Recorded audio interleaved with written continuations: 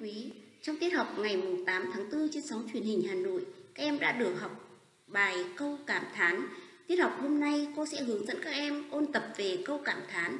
Xin mời các em lấy đồ dùng học tập bộ môn để chúng ta học bài.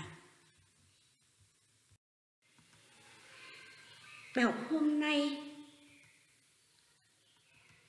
cô sẽ củng cố những kiến thức cơ bản về đặc điểm hình thức của câu cảm thán phân biệt câu cảm thán với kiểu câu cầu khiến mà chúng ta đã học. Nắm vững chức năng của câu cảm thán. Về kỹ năng, các em sẽ sử dụng câu cảm thán trong những trường hợp cần thiết, biết nhận dạng và phân tích chức năng của câu cảm thán. Thái độ.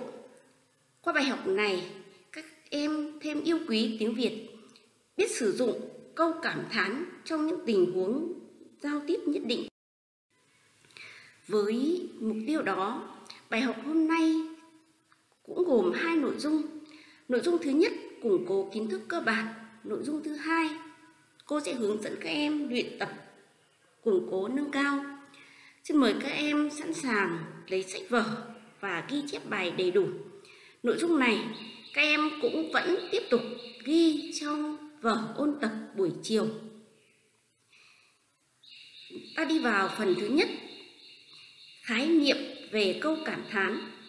Cô lưu ý với các em, câu cảm thán là câu dùng để bộc lộ một cách rõ rệt những cảm xúc tình cảm, thái độ của người nói đối với sự vật, sự việc được nói tới. Ví dụ, cô có ví dụ thứ nhất, buổi chiều thơ mộng biết bao. Ví dụ thứ hai, mặt trời rực rỡ biết chừng nào. Ví dụ thứ ba, những người lính hy sinh vì độc lập tự do của tổ, của đất nước thật cao đẹp biết bao. Các em có thể thấy ba câu trên. Có các từ cảm thán như biết bao, biết chừng nào và biết bao. Kết thúc bằng dấu chấm than và chúng ta thấy tất cả những câu trên thì đều bộc lộ trực tiếp cảm xúc, tình cảm của người nói. Và đó là những câu cảm thán và cũng từ ví dụ đó thì các em có thể thấy đặc điểm hình thức và chức năng của câu cảm thán qua bài học mà chúng ta cũng đã học. Các em cần chú ý cho cô như sau. Đặc điểm hình thức ta có thể thấy câu cảm thán được cấu tạo nhờ các từ ngữ cảm thán như ôi, than ôi, hỡi ơi, trời ơi, biết bao nhiêu, biết chừng nào, vân vân và khi viết, câu cảm thán thường kết thúc bằng dấu chấm than. Ở các ví dụ vừa qua thì chúng ta đã thấy rất là rõ điều này. Thứ hai, về chức năng thì các em cần chú ý cho cô. Chức năng chính của câu cảm thán là biểu thị cảm xúc trực tiếp của người nói và cô lưu ý với các em đây là chức năng chính của câu cảm thán và nói đến chức năng chính thì chúng ta còn có thể kể tới chức năng khác của câu cảm thán. Cô lấy ví dụ như câu cảm thán cũng có thể dùng để cầu khiến chẳng hạn, thì đó là những chức năng khác. Nhưng chức năng chính thì cô vẫn muốn các em cần biết, đó chính là chức năng chính là để biểu thị trực tiếp tình cảm cảm xúc của người nói. Chính vì thế mà khi sử dụng thì các em cần lưu ý cho cô chức năng này để chúng ta sử dụng cho phù hợp. Nội dung thứ ba mà cô muốn củng cố với các em đó là chúng ta đã học câu cầu khiến ở tiết học trước và ở bài câu cảm thán thì cô muốn các em có một sự so sánh để chúng ta chỉ ra được điểm giống nhau và khác nhau của câu cầu khiến và câu cảm thán các em có thể dễ dàng nhận thấy về hình thức thì cả hai kiểu câu này là đều kết thúc bằng dấu chấm than ở cuối câu. Thì đây là điểm giống nhau mà chúng ta dễ dàng nhận ra. Bên cạnh đó thì chúng ta thấy ở mỗi kiểu câu có những mục đích nói khác nhau. Và chính vì thế mà hai kiểu câu này cũng đã có sự khác nhau nhất định. Cái sự khác nhau đó được thể hiện câu cầu khiến thì sử dụng các từ cầu khiến như hãy đừng chớ, đi thôi nào. Hay ngoài ra thì khi nói, câu cầu khiến thường kèm theo ngữ điệu cầu khiến. Còn về mục đích thì câu cầu khiến dùng để ra lệnh, yêu cầu, đề nghị, khuyên bảo như bài học về câu cầu khiến cô đã ôn tập rất là kỹ cho các em còn về câu cảm thán ở bài học này thì cô lưu ý là câu cảm thán khác với câu cầu khiến ở chỗ sử dụng các từ cảm thán như ôi, trao ôi, than ôi, hỡi ơi, biết bao nhiêu, thay, vân vân. Còn về mục đích thì câu cảm thán dùng để biểu lộ trực tiếp cảm xúc của người nói hoặc là người viết. À, bên cạnh cái sự ờ, so sánh đó thì cô muốn chú ý với các em như sau.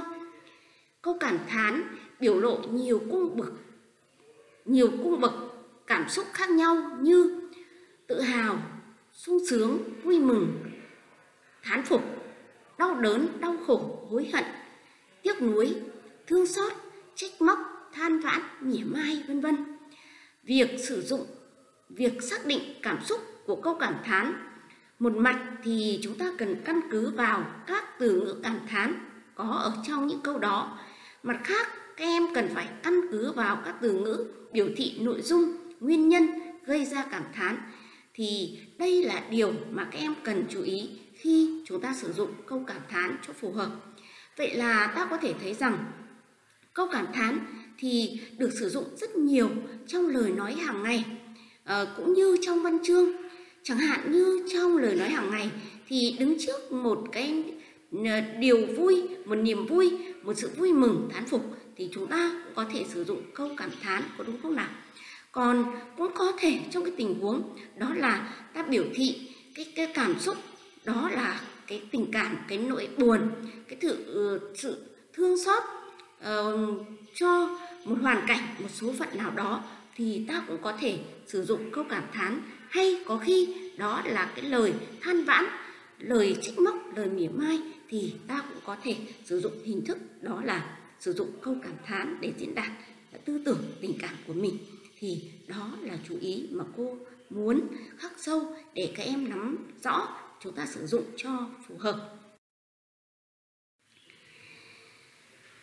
Và để khắc sâu thêm kiến thức kiến thức mà uh, chúng ta vừa học thì các em thấy là trong sách giáo khoa trang 44 phần ghi nhớ cũng đã khắc sâu cho các em uh, đặc điểm hình thức và chức năng của câu cảm thán.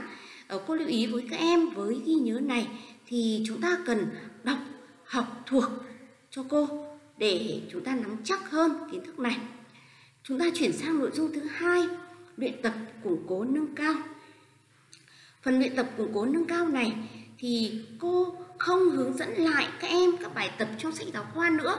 Bởi vì các bài tập đó thì trên lớp ờ, trước ờ, ngày nghỉ, trước ngày nghỉ dịch thì cô cũng đã là giảng dạy bài học này rồi. Ờ, và trên truyền hình thì các em cũng đã vừa rồi, chúng ta cũng đã được học. Và theo dõi trên truyền hình thì cô giáo thấy rằng cô giáo giảng dạy trên truyền hình giảng cũng rất là hay uh, hướng dẫn các em làm bài tập rất là cụ thể rất là chi tiết cô hy vọng rằng với cái sự hướng dẫn đó thì các em sẽ dễ dàng hoàn thành được tất cả những phần bài tập trong sách ờ, giáo khoa và đó cũng chính là sách bài tập mà các em xin lỗi đó cũng chính là bài tập mà các em cần hoàn thành trong vở bài tập ngữ văn 8 của mình các em nhé. Còn ờ, bài tập mà cô hướng dẫn các em hôm nay thì đó là những bài tập mà cô mở rộng cô đưa thêm để chúng ta có thể khắc sâu kiến thức. Xin mời các em chúng ta theo dõi và ghi đầy đủ cho cô trong vở ôn buổi chiều nhé. Ta đi vào bài tập thứ nhất. Em nghe cô đọc bài tập 1 như sau. Các câu sau đây có phải là câu cảm thán không? Vì sao? Các em chú ý cho cô, cô có các câu sau. Câu A. Lan ơi, về mà đi học Cô có câu B, thôi rồi lượng ơi. Câu B thì được trích trong văn bản lượng của nhà thơ Tố Hữu mà chúng ta đã được học từ năm lớp 6. Các em có thể thấy câu hỏi của bài tập 1 là các câu trên có phải là câu cảm thán không? Và chúng ta sẽ giải thích Đấy, vì sao là câu cảm thán hoặc ngược lại vì sao không phải là câu cảm thán. Các em suy nghĩ câu hỏi này trong vài giây ờ, và sẽ có những định hướng của mình ờ, và cũng để các em có thể là đối chiếu với những định hướng mà các em suy nghĩ thì ngay sau đây chính là gợi ý của cô cho câu trả lời bài tập 1. Định hướng trả lời như sau. Các em thấy câu A. Đây là hai câu. Câu sau có ý nhấn mạnh nên đặt dấu chấm than. Câu đầu, Lan ơi, có hình thức cảm thán. Tại sao cô lại nói có hình thức cảm thán? Bởi vì kết thúc các em cũng nhìn thấy có dấu chấm than. Nhưng đây không phải là câu cảm thán bởi vì mục đích nói của câu này đó là dùng để gọi đáp Đấy, Lan ơi về mà đi học cho nên đây là xin lỗi đây không phải là câu cảm thán còn câu B thì đây là câu cảm thán bởi vì đó là câu đã trực tiếp bộc lộ tình cảm cảm xúc của tác giả của nhà thơ Tố Hữu trước sự ra đi của chú bé Lượng, chú bé liên lạc dũng cảm ấy. Như vậy cô đã giúp các em hoàn thành xong bài tập 1. Các em có ghi kịp không ạ? Chúng ta sẽ chuyển sang bài tập thứ hai. Các em nghe cô đọc bài tập 2 này nhé. Bài 2 như sau. Những câu sau đây có phải là câu cảm thán không? Vì sao? Câu A. Lúc biết tin đã thi đỗ, chúng tôi vô chúng tôi sung sướng vô cùng. Câu B. Anh ấy rất buồn vì đã để mọi người thất vọng. Câu hỏi của bài 2 các em thấy à, hai câu đó có phải là câu cảm thán không? Và vì sao? Nếu là phải thì cũng vì sao lại là câu cảm thán. Còn nếu không phải là câu cảm thán thì chúng ta giải thích vì sao hai câu này không phải là câu cảm thán. Kim suy nghĩ hai câu này như thế nào? Nó là câu cảm thán hay không phải nhỉ? Sau đây sẽ là đáp án của cô các em nhé. Ta thấy cả hai câu trên không phải là câu cảm thán đâu, vì đó là những câu không có từ ngữ cảm thán và cũng chẳng trực tiếp bộc lộ cảm xúc của người nói. Hay nói khác rằng không trực tiếp bộc lộ cảm xúc của người nói và chính vì thế hai câu này không phải là câu cảm thán vậy thì không phải là câu cảm thán thì nó là kiểu câu gì thì cô lưu ý với các em đây là câu trần thuật mà, câu trần thuật là gì thì bài học tới đây chúng ta sẽ được học nhé. Tiếp theo, cô sẽ hướng dẫn các em tiếp tục ở bài tập thứ ba. Bài tập thứ ba như sau. Chỉ ra cảm xúc của mỗi câu cảm thán. Dưới đây biểu thị Câu A, Khốn nạn, Nhà cháu đã không có. Dẫu ông chửi mắng đến, Dẫu ông chửi mắng cũng đến thế thôi em thấy cô A được trích trong văn bản. Tức nước vỡ bờ. Cô có cô B. Ha ha một lưỡi gươm. Cô B được trích trong văn bản Sự tích hồ gươm. Cô C.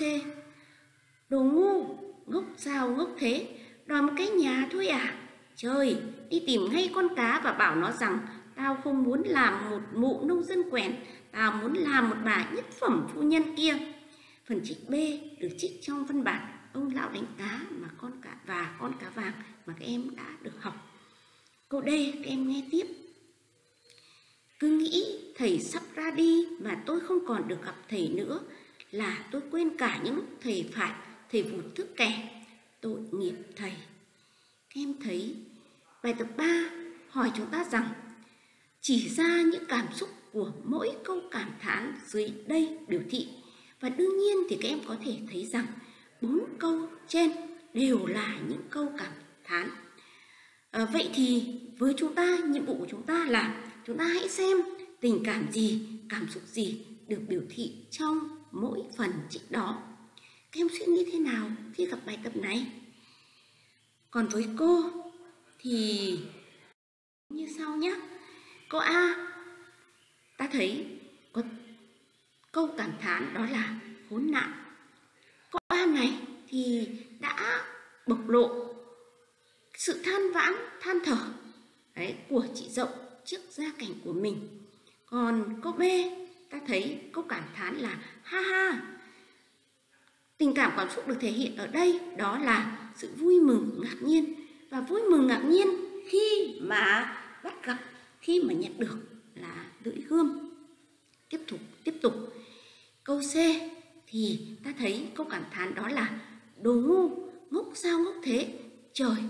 Các em thấy câu C này thì đây là lời nói của mụ vợ ông lão đánh cá và lời nói này thì thể hiện cái cảm xúc đó là sự chê bai bực tức của mụ vợ ấy, trước ờ, việc làm trước quyết định của ông lão đánh cá tiếp tục các em thấy tuy nhiên thì ta thấy rằng mụ vợ của ông lão đánh cá là một nhân vật mà có lòng tham vô đáy. Ta không hề đồng tình với những lời nói trên của mụ vợ có đúng không nào? Còn câu D thì các em thấy câu cảm thán đó là tội nghiệp thầy. Và tình cảm được thể hiện ở đây đó là nỗi thương xót của uh, học người học trò khi thấy được chứng kiến được cái biểu hiện của người thầy của mình trong buổi học cuối cùng mà các em cũng đã được học. Tiếp theo, cô sẽ tiếp tục hướng dẫn các em, chúng ta sẽ tiếp tục luyện tập bài 4. Bài 4 như sau. Cho các từ cảm thán sau. Ôi, biết bao, thay, biết bao nhiêu, hỡi ơi, vân vân. Hãy điền các từ đó vào chỗ trống trong những đoạn trích dưới đây. Cô có A ta thích thú, chấm chấm chấm. Khi lại được ngồi vào bàn ăn. B. Cô đơn, chấm chấm chấm là cảnh thân tù. C. Chấm chấm chấm, quê hương ta đẹp quá. D. Đau đớn thay phận đàn bà, chấm chấm chấm. Thân ấy biết là mấy thân. E. Ôi bác hồ ơi, những xế chiều, nghìn thu nhớ bác, chấm chấm chấm các em thấy ở bài tập 4 hỏi chúng ta là uh, các từ đã cho đấy thì chúng ta có thể điền vào những chỗ trống trong những phần trị này làm sao cho phù hợp. Và các em thấy là để mà hoàn thành được nội dung của bài tập 4 này thì các em cần phải căn cứ vào nội dung, căn cứ vào ngữ cảnh để chúng ta có thể điền. Và chúng ta thấy rằng cũng là những từ cảm thán nhưng không phải ta có thể đem bất cứ từ nào để ta sử dụng để chúng ta điền. Này cũng phù hợp. Mà ngược lại, chúng ta thấy là phải tùy theo cái văn cảnh, tùy theo ý nghĩa của lời nói để mà chúng ta điền. Cô lấy ví dụ như ở trong trường hợp trên, thì có thể với từ này thì có thể là phù hợp với câu này. Nhưng nếu ta mang từ đó để điền vào câu văn khác thì sẽ không phù hợp cô tin là các em cũng có cái suy nghĩ như cô và ở bài tập 4 này thì cô cũng có thể là có cái định hướng như sau để các em có thể tham khảo và hoàn thành trong vở ôn tập của mình nhé. Câu A thì các em có thể điền như sau. Ta thích thú biết bao khi được ngồi vào bàn ăn và từ cảm thán mà ta điền đó là biết bao. Phần trích B, ta sẽ điền. Cô đơn thay là cảnh thân tù. Và từ cảm thán đó là hay. Câu C, ta sẽ điền. Ôi, quê hương ta đẹp quá. Từ cảm thán mà ta điền đó là, Ôi, các em đã thấy. Phần trích D, Phần chúng ta điền như sau. Đau đớn thay, phận đàn bà. Hỡi ơi, thân ấy biết là mấy thân và từ cảm thán mà chúng ta điền, đó là hỡi ơi hỡi ơi là một lời than. E thì chúng ta sẽ hoàn thành như sau.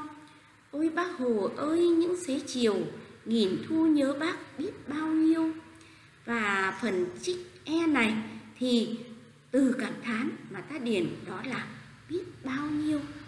Như vậy là cô đã định hướng các em hoàn thành được bài tập 4 đây là bài tập 5 nhé. Bài tập 5 như sau. Đặt câu cảm thán nhằm bộc lộ cảm xúc trước các sự việc sau. Cô có trước sự việc thứ nhất A. Được điểm 10 B. bị điểm kém C. Nhìn thấy con vật lạ Và cô có thể thấy là ở trường hợp A được điểm 10 thì tất nhiên đây là cảm xúc vui mừng, phấn khởi của đúng không nào? Còn khi mà ta bị điểm kém, chắc chắn trong mỗi chúng ta chúng ta không tránh khỏi. Đó là sự buồn, đấy, ân hận, nuối tiếc. Rồi đứng trước tình huống ở sự việc C, nhìn thấy con vật lạ mà chúng ta chưa gặp bao giờ, thì chắc chắn trong mỗi chúng ta chúng ta không khỏi ngạc nhiên. Như vậy thì chúng ta có thể đặt những câu cảm thán với những tình huống này. Phần này thì các em có thể có nhiều cách đặt nhiều cách bộc lộ những cái tình cảm những cảm xúc của mình cho phù hợp với hoàn cảnh ở trong bài tập.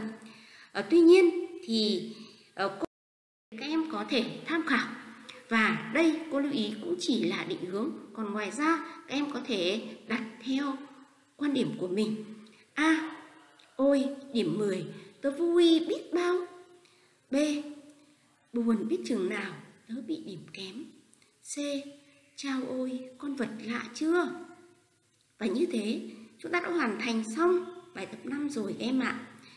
Và như cô đã nói, thì đây chỉ là quan điểm của cô. Cô tin với định hướng ấy, các em sẽ có nhiều câu văn khác hay hơn.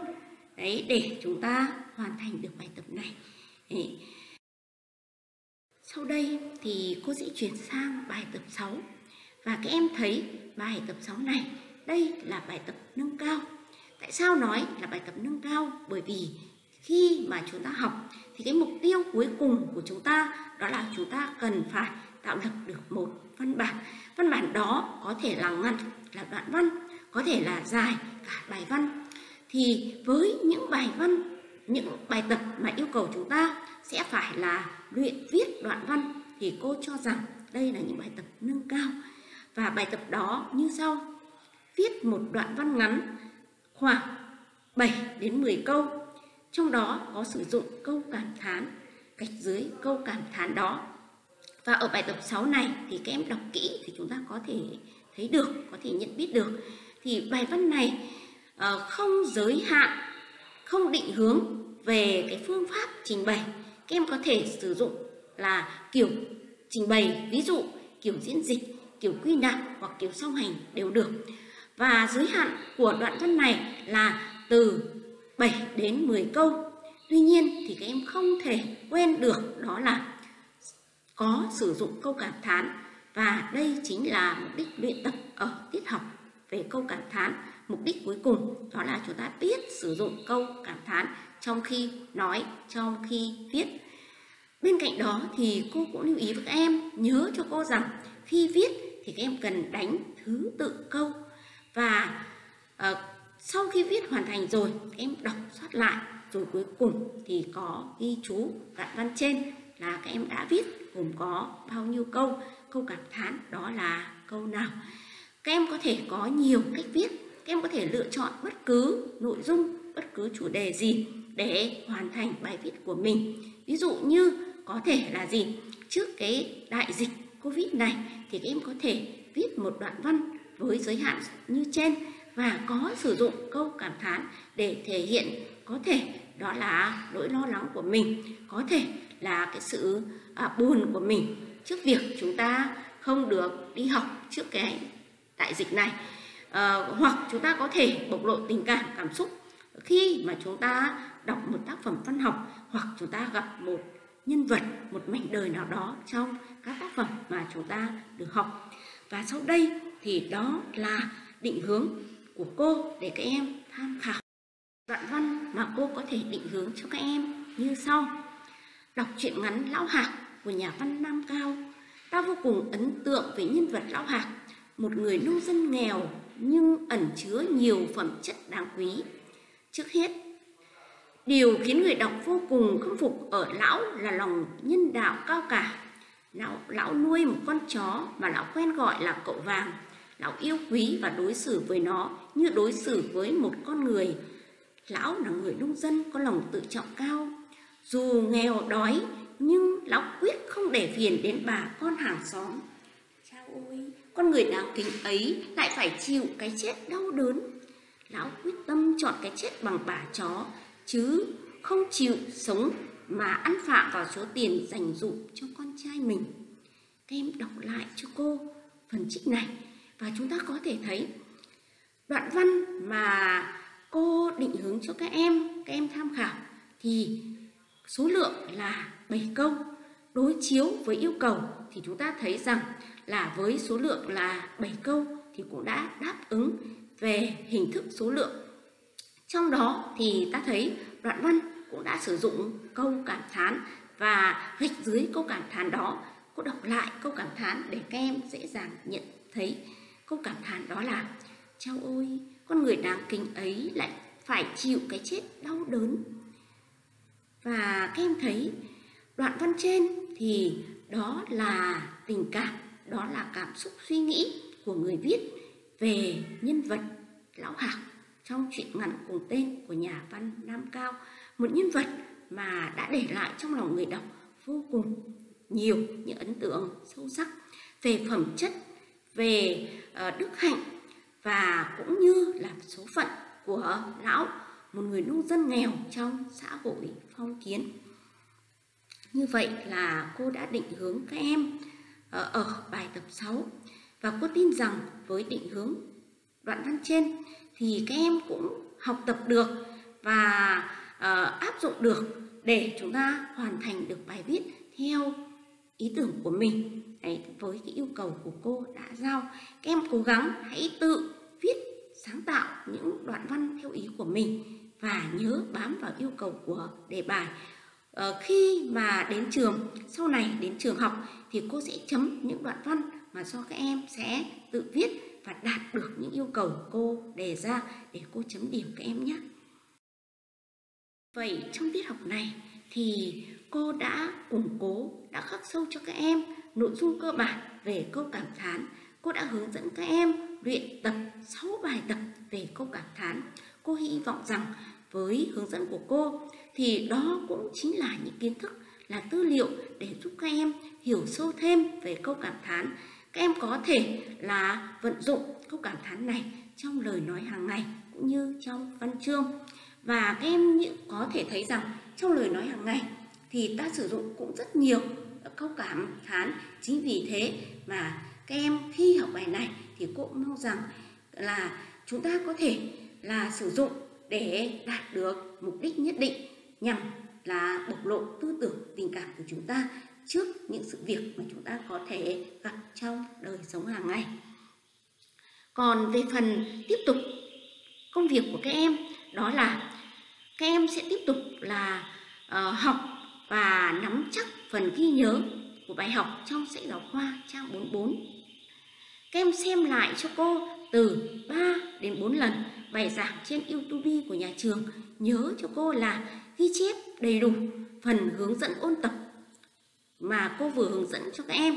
Nhớ ghi chép đầy đủ từ nội dung củng cố kiến thức cơ bản mà cô vừa hướng dẫn các em. Các em hoàn thành bài tập và đặc biệt trong đó là bài 6 mà cô vừa hướng dẫn. Theo dõi, ghi chép nội dung bài học trên sóng truyền hình của Hà Nội ngày 11 tháng 4 năm 2020. Các em hoàn thành bài tập uh, như cô giáo đã hướng dẫn trên truyền hình để tiết sau cô tiếp tục hướng dẫn các em ôn luyện nội dung mở rộng nâng cao kiến thức ở bài học đó bài học của cô ở tiết này đến đây là hết. Chúc các em chăm ngoan, học giỏi. Hẹn gặp lại các em trong những bài học lần sau các em nhé.